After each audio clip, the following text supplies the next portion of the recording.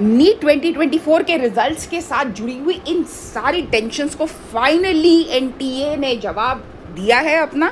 NTA ने और ministry of education ने मिल करके भाई गवर्नमेंट की तरफ़ से फाइनली ये चार मेंबर कमेटी बना दी गई है, जिसमें एक फॉर्मर यूपीएससी चेयरमैन और तीन अकेडमिशियंस को रखा गया है।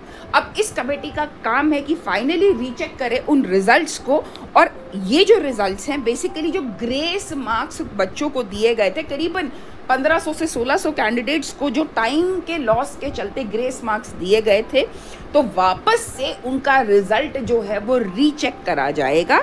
नाउ वेरी इंपॉर्टेंट है कि इस कमेटी ने अपना काम करना, अपना इन्वेस्टिगेशन जो है वो शुरू कर दिया है। That is a good thing so very soon हम एक्सपेक्ट कर सकते हैं आने वाले सैटरडे के अंदर कि इनका रिज़ल्ट जो है या इनकी तरफ़ से जो भी इन्वेस्टिगेशन का आउटकम है, वो बहुत जल्द बच्चों को मिलने वाला है। सो so फाइनली बच्चों, आपके सारे प्रयासों के चलते इस सारी आवाज़ के चलते जो उठाया गया है, भाई ठोस कदम लिए गए हैं। सो उम्मीद करते हैं आने वाले समय में हमारे पास कुछ अच्छी न्यूज़ डेफिनेटली ज़रूर आएगी।